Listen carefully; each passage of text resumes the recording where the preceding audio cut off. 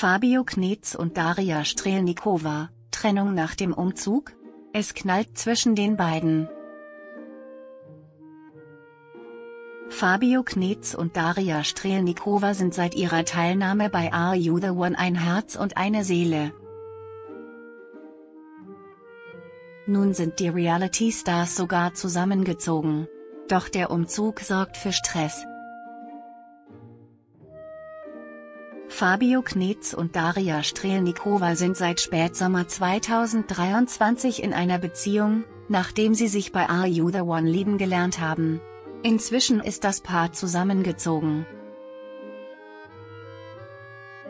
Doch das lief alles andere als entspannt zwischen den beiden ab. Das haben die TV-Stars nun bei den Spa Awards 2024 verraten. Fabio Knetz und Daria Strelnikova, fiese Streitereien nach ihrem Zusammenzug. Auf die Frage, wie der gemeinsame Alltag in der neuen Wohnung läuft, antwortet Daria Strelnikova kurz und knapp gegenüber VIP.de, stressig. Oha. Hängt bei der ehemaligen Germany's Next Top Model Kandidatin und ihrem liebsten Fabio Knetz etwa der Haussegen schief? Scheinbar. Denn der Ex-Dschungelcamper offenbart, ja, so wie jetzt haben wir uns eigentlich noch nie in die Haare bekommen, muss man sagen. Den Grund dafür verrät Fabio auch direkt gegenüber dem Online-Magazin, aber weil's ein Umzug ist und wir arbeiten so viel wie noch nie in unserem Leben.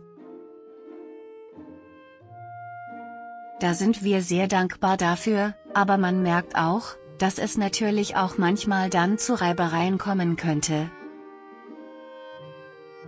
Doch damit nicht genug.